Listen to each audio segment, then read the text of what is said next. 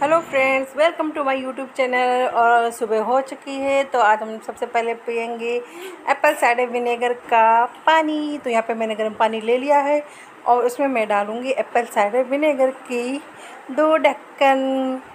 तो हम सबसे पहले इसको ही पियेंगे और आज ब्रेकफास्ट में है स्प्राउट और उसके बाद आज मैंने लंच में यहाँ पे खाए है।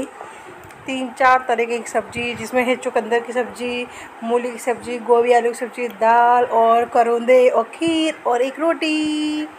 तो हम इसको ही खाएँगे। और चार बजे हम पियेंगे अपनी जिंजर टी तो यहाँ पे मैं बना रही हूँ बिना दूध की।